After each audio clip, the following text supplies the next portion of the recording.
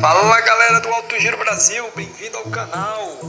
Não se esqueça de se inscrever no canal, deixar o seu like ou um comentário, beleza?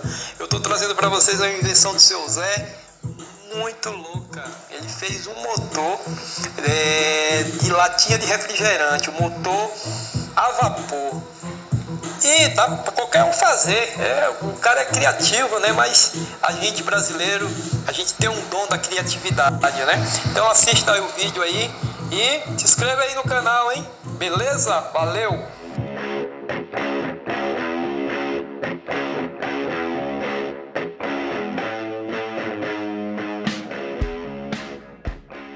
Agora eu vou mostrar a minha segunda invenção maluca, que foi esse motor aqui que você está vendo, um motor totalmente de lata que eu construí.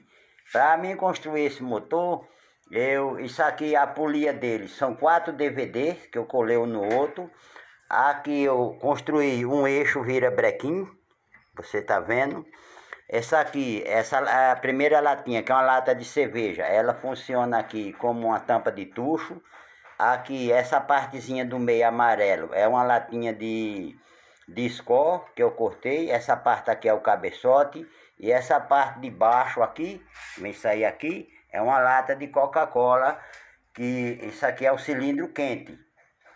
E, e aqui tenho, construí uma biela do cilindro quente, o eixo vira brequim. E aqui a outra biela do cilindro frio. Que isso aqui é o cilindro frio é, é, é uma tampa é, de iogurte e uma borracha é, de bola de, de bexiga, uma bola, uma bola de açúcar, que é um silicone isso aqui.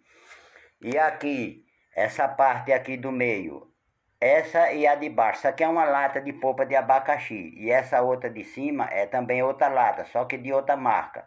Que essa parte de baixo aqui é a fornalha. E essa parte aqui do meio é o radiador. E eu construí também essa lamparina que esse motor funciona a álcool. Para isso tem que colocar álcool, álcool nesse candeeirozinho, que ele já está com álcool. E nós acende ele e coloca lá debaixo e quando aquecer o motor com certeza irá funcionar. E aqui também eu coloquei só essa tauba aqui, para quando o motor estiver funcionando, ele não inventar de virar, porque é uma rotação que eu acredito que ultrapassa das 2.000 RPM. Então, para você ver, vamos, vamos colocar para funcionar. Eu vou acender a lamparina, mas antes de, de acender a lamparina, eu vou pegar esse copinho aqui, que já está com água, que eu já deixei preparado, e vamos pôr a água no radiador.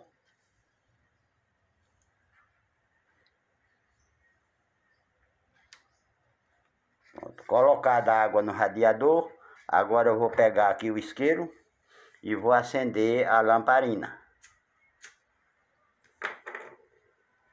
E vamos colocar aqui debaixo e esperar algum instantezinho que aqueça para a gente poder dar a partida inicial. Eu acho que já tá bom, eu vou dar a partida inicial. E aí está. A medida ele ainda agora que vai começar a pegar a rotação à medida que vai aquecendo. Daí para você ver claramente, ele, ele ainda está aumentando de velocidade. Vê, vou mudando de posição.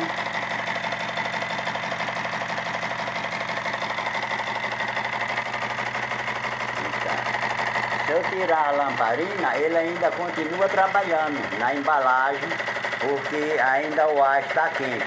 À medida que o ar vai esfriando, ele vai perdendo a velocidade. Se eu colocar a lamparina novamente, ele começa a aquecer, aí ele vai totalmente, vai começando a pegar a velocidade novamente, e aí tá, já aumentou a velocidade.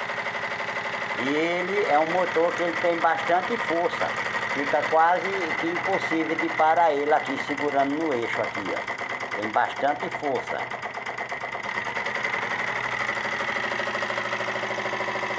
Ele agora atingiu a velocidade máxima, acredito que ele está acima de umas 2000 RPM. E, e pelo outro lado.